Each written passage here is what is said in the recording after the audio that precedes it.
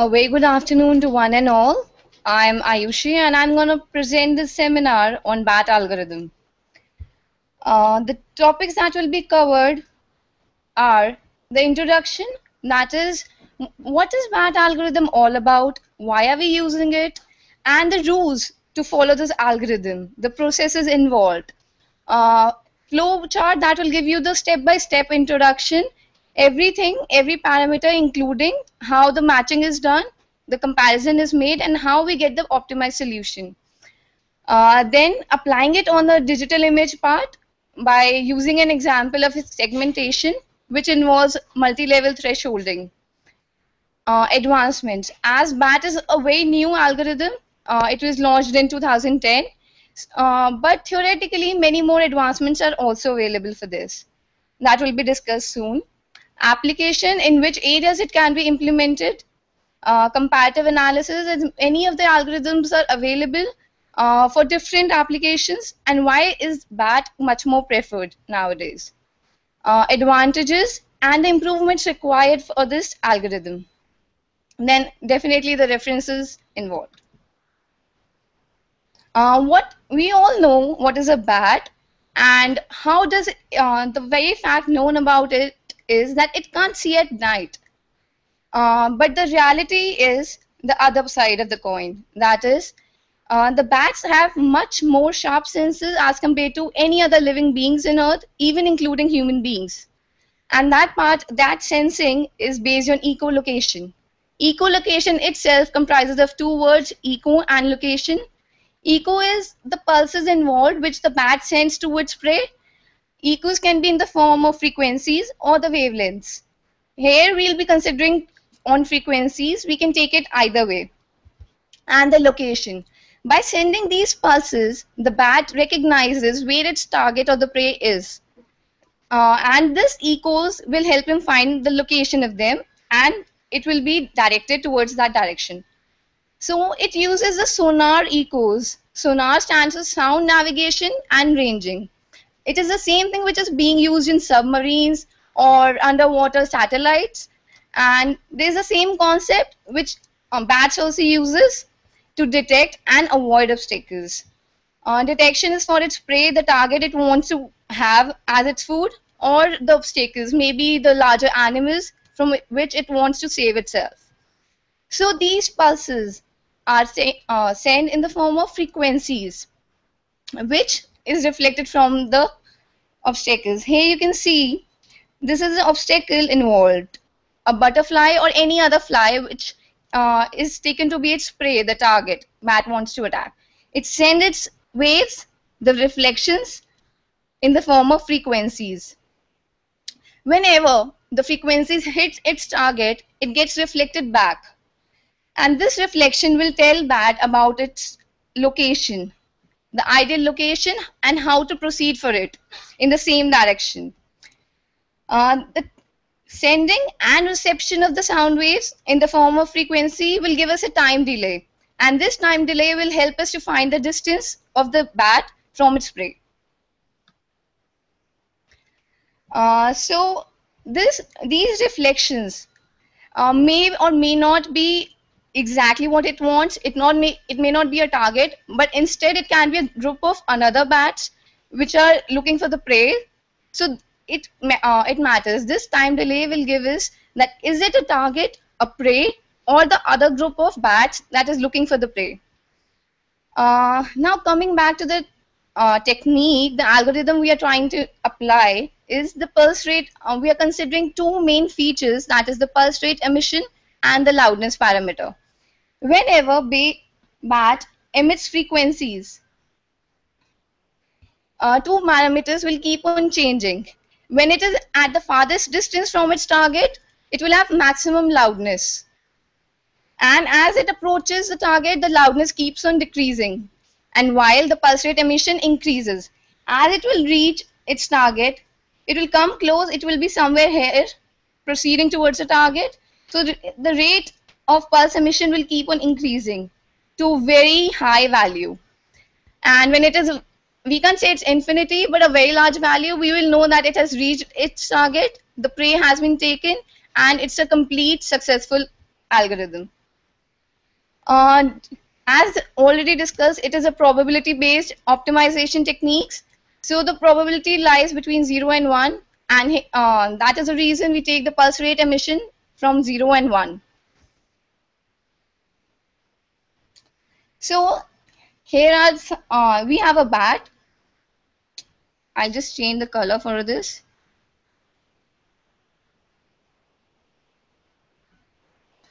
Okay, we have a bat which is trying to find its prey. It sends different frequencies all around. It can be omnidirectional or in a specific directed way, maybe at a 90 degree angle, or it can define the way it wants to send that signal. And there are many hindrances on the way. Here it is taken C, uh, C1, C2, and C3. That are three distances, three distant objects. So from here, the reflected waves come, and we know which is the uh, which has the smallest distance. And in the very same direction, the bat will continue to fo uh, move forward. So now we know that the bat knows where its prey is. It gets the location of the prey. Uh, it knows the distance between them by calculating the time delay. And now the functions that are being updated, the main thing that makes BAT algorithm very useful and efficient is the parameters it involves. Uh, in PSO, we saw the two parameters involved were position and velocity. Here, three more parameters come into picture. That is, the position is still there, velocity is also there in the same way that is being used in the PSO. And now we have the loudness parameter and the pulse rate emission. Uh, being it a probability function, we define it both the functions in, uh, in the range 0 to 1 and the frequency because frequency will tell us the distance of the prey. Uh, now, as it being the probability, we know the uh, changes will be taken care of. If we have one mat here, and the other group lies here. We have many groups for the bats. Uh, let's take three directions. Uh, that are the dimensions k and the directions. We have three different groups of bats which communicate with each other. This is the main initial starting position. Now we have a distance here three distances involved. So the bat will know what is what are the actual distances, where it needs to proceed, and for this we ne uh, need to know the idealized rules involved. Initially, uh, we've already talked about the rate pulse emission lying between 0 and 1. That will be considered to know the proximity, the distance of the target. Then the echoes used to detect the exact location of the prey. Uh, these will be transformed into frequencies, the pulses, and then that will be used to navigate the distance. Uh, time delay parameter tells us the distance and that will be proceeded further.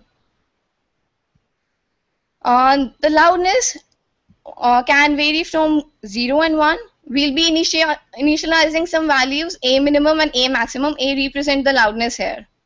So it can, it should have a large value and then proceed to the slower, uh, lower ones. It should attire, acquire a minimum value, a minimum. Uh, the equations involved have 5 as the parameters are also 5. Uh, these are the frequency, velocity and position variables which will be updated for every iteration, every position change of the bat. Uh, frequency also has a finite value so it should have a maximum and minimum as well. So it is given by the the current frequency position is given by the minimum value then adding the difference of the both minimum and maximum that is the range we want to define with a constant random vector in which direction it should perform being it a probability we are considering it to 0 and 1 for the uniform distribution then the velocity updation uh, if we assume that the it is at 0 0 position it is just at the beginning uh, then the initial and the previous position will remain the same. Otherwise, it will take the previous position, the previous iteration position of uh, velocity. Uh, plus, there's a change here as compared to the other equations being performed in other algorithms. XIT is the position of the present pixel minus the best current location. That is the global best which was available all throughout the pixels, all throughout the image uh, and we multiply it with the frequency uh, vector to give it as a velocity direction. The position updation is the same as was done in other algorithms, that is taking care of the previous location and the velocity factor. Uh, we just talked about the current best location, uh, but we need to know how it is found out. How it, is it calculated? So we consider the x new, that is the present we want to calculate. Uh, while considering the older one version, we take the older previous one and some variation has to be made so, so as to optimize it. We take the probability that is del and a raised to power t. Del is a random number. We take it not from 0 to 1 but minus 1 to 1 as the intensity at the pixel can be increased or decreased. Maybe the available frequency or the available intensity is not good enough. It's too high for the location. We need to decrement it. So it ranges from minus 1 to 1. And 80, the loudness factor, we have already discussed before. So we know uh, as the bat approaches its prey, it will uh, the loudness factor continuously decreases. It cannot be zero, uh, but the experimental values shows us that it goes around to minus, uh, sorry, 0.1 value. It can ever be zero because uh, the perfect optimization is just an ideal concept and the rate of pulse emission increases, it will be very close to the value of 1, uh, but around 0.95 is the estimated value experimentally found. Then the variation. We know that bat is not going in a perfect straight line, it is not a linear uh, distance. So there's an exponential decay for the uh, rate of pulse emission. Considering the rate of pulse emission, uh, it is exponentially decrementing gamma is just a constant which is also which can be uh, defined by the user as per your application. T is the number of iterations which we want to continue and Ri naught is the initial rate of pulse emission which we took. It is not the previous one but the initial one which we wanted. And the loudness that varies exponentially, it decays exponentially and alpha uh, is approximately equal to uh, the exponential E value but not exactly. So we are using alpha, not E. And it obviously varies with the previous one. Uh, talking about the bats, we have to vary to, uh, we want to know that what are the actual frequencies and wavelengths on which this algorithm works. The frequencies are 20 kilohertz to 500 kilohertz, which will be optimized while using it in the MATLAB coding. And the wavelength is from minus, uh, from 0.7 to 17 mm. Now the step-by-step -step procedure how to perform the is algorithm. We need to know everything about it uh, starting from uh, we are taking an initialization position uh, consider an image and we are at this position the 0 0 pixel uh, and we want to move to the highest position available that is the other end of the image so we need to set some targets, some constraints to perform this algorithm. Initially, we'll take an objective function or the fitness function already talked about. This will vary according to the application. For segmentation, it will be something else. And for restoration, we need to change the fitness function. It is application specific.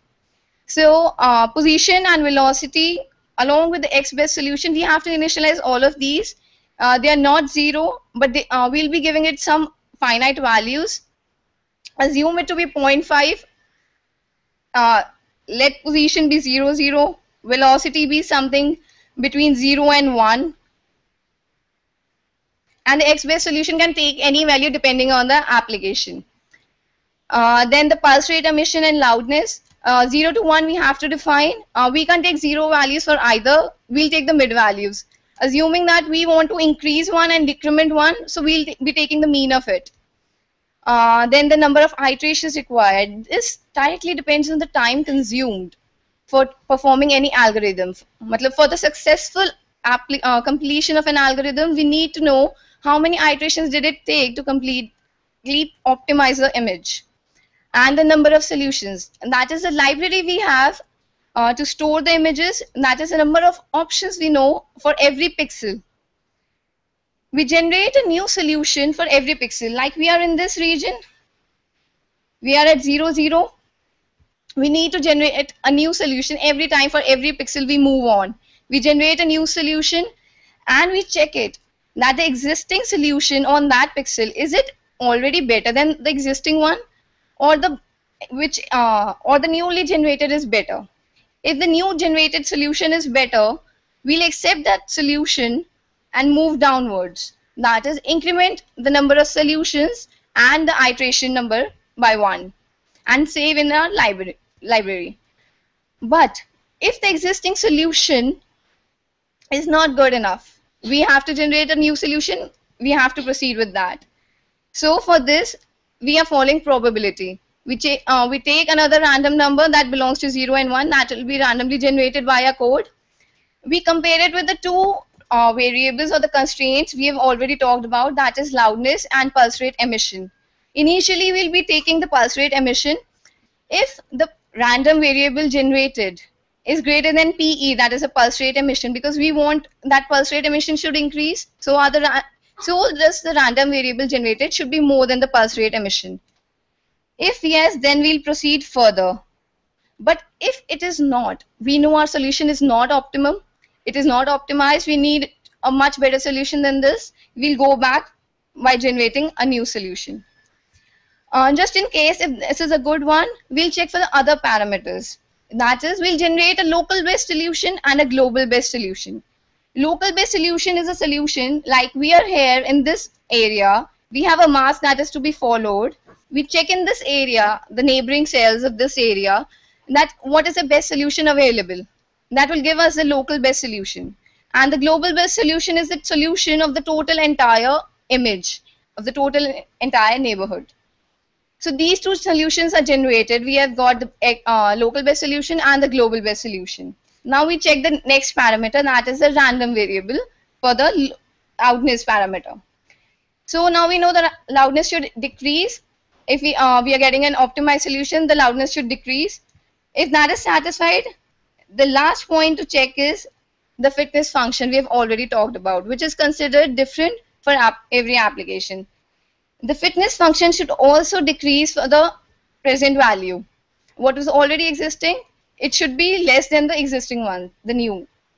We accept this solution as the x-best solution. We increment the number of solution, increment the number of iterations by one, and then we check is the solution uh, is the number of iterations equal to the maximum number of iterations. That is, uh, the maximum number of iterations depict the total width and height height by width ratio, uh, sorry, m by n. That is the total maximum number of iterations.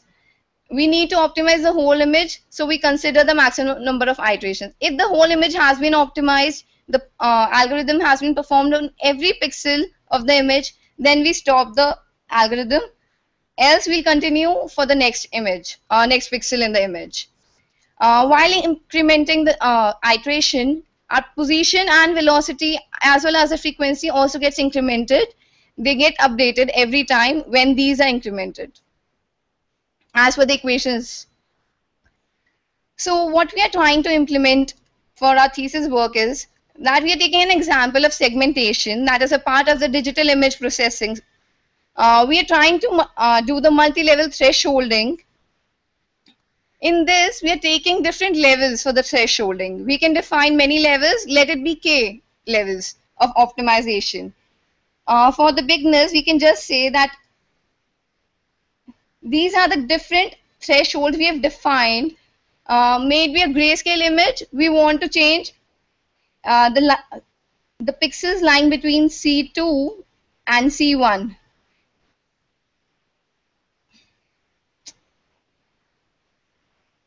Uh, the pixels lying between C1 and C2 will be given a definite uh, signal, definite intensity, that is thresholding.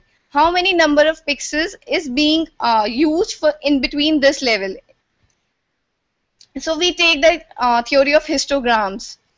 On the number of uh, histogram is given by the number of pixels having this level hi, and i are the number of pixels that have this intensity value. Uh, they are L gray levels. Uh, C0, C1, C2 till L. It can go up to L. So L are the number of gray levels involved. And the range is defined from 0 to L minus 1. Uh, it is a probability function. so normalized probability is taken. That is uh, given by Pi. and uh, it is equal to hi that is a histogram divided by the m that is the total number of pixels available in any image. The fitness function for segmentation is given by this formula h0 plus plus h1 up to hk. For every level uh, this h function will be calculated and the general formula for this is given here hk which depicts the negative of the summation of pi by wk. pi is the same histogram divided by the total number of images, uh, pixels in an image, m. Uh, wk is a total cumulative probability function. We divide the initial one from the total probability function, we take the log of it for the same values pi by wk and we get the value of hk. It is negative because we can say we want the loudness to decrement and this will definitely vary for every application. HK will change uh, for segmentation, for restoration, for enhancement, or everything, for every different application. So how to proceed in a MATLAB code?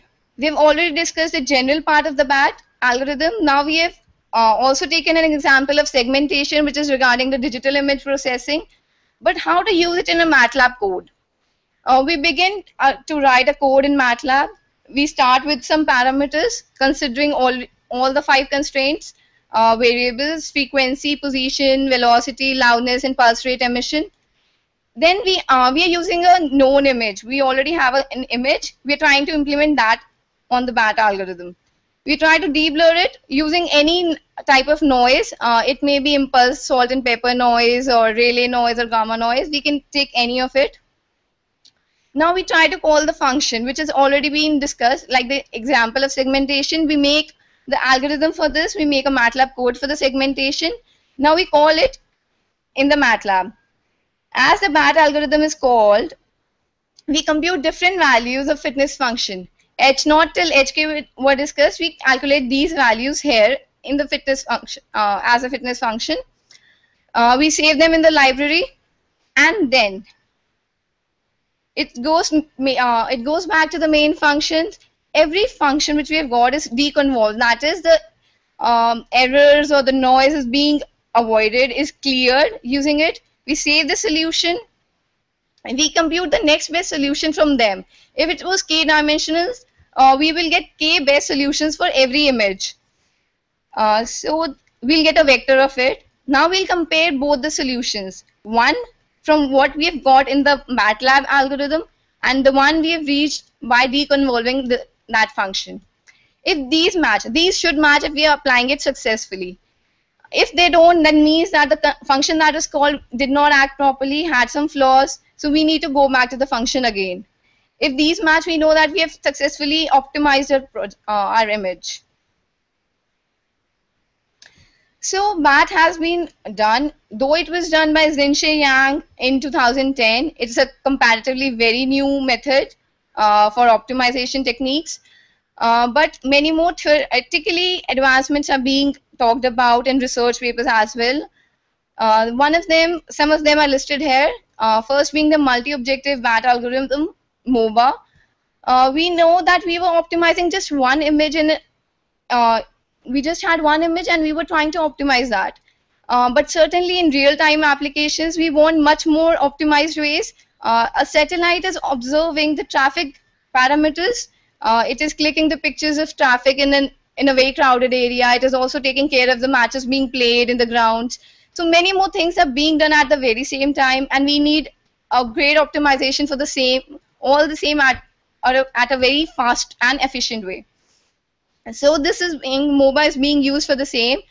Uh, in engineering task it is being implemented and uh, to uh, to notify that everything in uh, considering a building we need to take care of the corridors the classrooms everything. So that is being optimized with the help of MOBA. Uh, fuzzy logic BAT algorithm. We will as we were just talking about the 0 and 1 ratio the probability lying between 0 and 1 Fuzzy logic is one of the techniques which can also be implemented with the BAT algorithm as it does not just uh, belong to the binary. It's not just 0 and 1 but a many valued function which varies between 0 and 1. So if they both are combined they can actively be used for the optimization. Uh, binary BAT algorithm. These are specific uh, application specific algorithms which can be used where we just know that we'll get either a 0 or a 1 there will not be any intermediate intensities available. Uh, so to reduce the complexities we use binary bat algorithms in these cases. Improved bat algorithms. These use the uh, loudness and pulse rate emissions parameters along with the Levy flights. Uh, this is also a function which is based on the probability of uh, Cauchy probability function and uh, normal probability function. So by combining all the three, we have got very good results. And uh, by using different functions, like um, experimentally, 70 different functions have been tested, and it is found to be very efficient. Uh, and one of them is also the differential operator and Levy flights already discussed about the Levy flight and the differential operator that is a very good mathematical tool to calculate any of the errors or the noise present in any image or any other application. So combining these we try to optimize our solutions and get the efficient solution of any problem.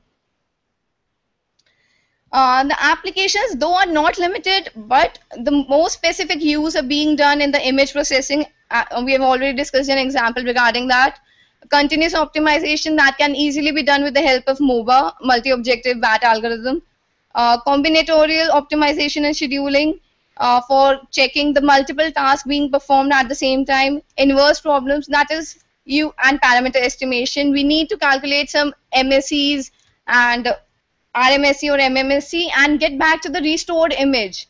It is not possible that a uh, that a non-blind image is always available we sometimes need to uh, optimize an images from the satellites as well. So inverse problems may be involved to get back to the much more clear images that we have acquired from the sensors or the cameras. Uh, fuzzy logic BAT algorithm, definitely it can be used to increase the optimization. Uh, comparative analysis. Now we have already discussed about the PSO. Now now this BAT will be compared with some of the other algorithm techniques uh, based on some of the features and why is this better. Uh, first considering the BAT algorithm already talked about the echolocation behavior of the bats uh, while the firefly algorithm is based on the arching behavior of firefly also called the jugnu's and the cuckoo search that is based on the birds brooding. Cuckoo is a type of bird which broods. The brooding of birds, how does it uh, lays its eggs and how does it utilizes the nature. Uh, then it is defined, BAT we know it is defined by the pulse rate emission and the loudness, while the firefly is used by the brightness and the attractiveness of the fireflies. Cuckoo search. Uh, whenever a cuckoo lays its eggs in the other uh, in the nest of other birds, it distinguishes its own eggs using the color. So that is uh, the fitness function will be defined by the color of the eggs in this case. Uh, the features involved for the bat is that it is very accurate. It is very time saving because if we know that we haven't uh, met any of the one of the parameter, maybe loudness or the pulse rate emission, it will go back to generate the new solution. So it is very time saving and accurate as it considers many parameters involved. Three of the functions are definitely compared and to uh, the rest three are taken care of and updated every time. It is very efficient in this manner why the firefly uh, will give us a good result in a very less number of iterations. Uh, so it is very fast, uh, but yet we can experimentally it is found that BAT is faster than Firefly as well. Cuckoo search, it's easy to implement, but it is not much efficient. Uh, BAT has a, been applicable in uh, almost every field we are talking about, even the di digital image processing involved or the nanotechnology, it is being researched even in these ways. So BAT is definitely better as compared to the others because they are application specific areas algorithm. Uh, some more advantages, uh, why it is better, why we are using it and why the research is being made only in this direction is that automatic zooming. Nowadays, cameras are a very important of part of our life. And we know the pixel quality depends on how well you can zoom it and the image does not deblur. So the BAT algorithm provides us a very good zooming power. Even if you try to zoom it to uh, quite a level it won't give you a blurred image. It will be very noise free and this is the reason uh, why BAT is better than much of the algorithms. Uh, parameter control, yes, we are considering uh, loudness and pulse rate emission. Uh, it automatically finds. Initially, we'll explore uh, explore one area. That is, if we have an image, we take a sub image of it. We won't apply it on the whole image altogether. We take a sub image part of it. We'll explore this image and then make the changes to it. Then exploiting it, we'll be uh, we move further to the whole of the image that is sub image is applied the same application is applied to all the complete image then the frequency tuning. Though we know uh, that echolocation is not directly being used in this algorithm the, this optimization algorithm but yes the frequency is still being used and it is being updated every at every point at every pixel. Advantages.